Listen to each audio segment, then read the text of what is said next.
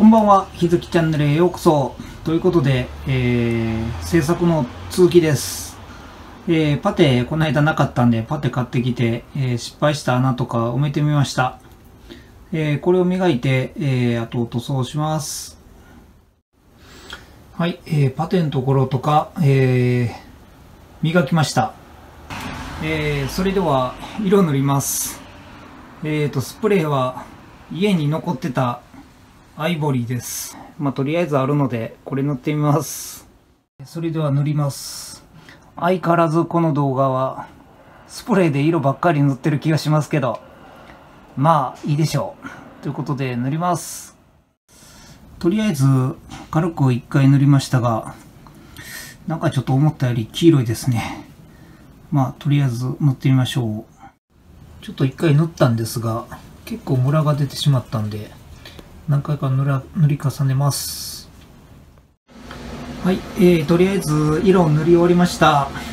まあ微妙ですけど、まあとりあえず一旦これで OK です。はい、あとは、えー、ラック組んでみます。はい、えー、ペンキも塗れました。まあそこそこテカってるので、こんなもんでいいかなと思います。あとはちょっと、えー金具とか、まあ、取っ手とかちょっと買ってきたんで、えーこれをつけてみたいと思います。はい、とりあえず金具とかつけてみました。まあ角の補強と、えー取っ手をつけて持てるようにしてます。えーと、あと、裏にゴムをつけてみました。足をつけて、えーみました。はい、えーラックのエフェクターを取り付けてみました。えーコンプレッサーと、えーリバーブをつけてます。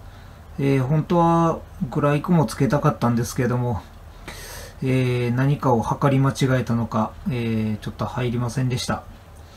まあ、配信には、えーこの2つだけ持っていこうと思ってましたんで、まあ、とりあえずはよしとします。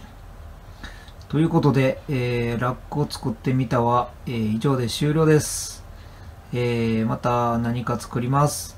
それでは、さようなら。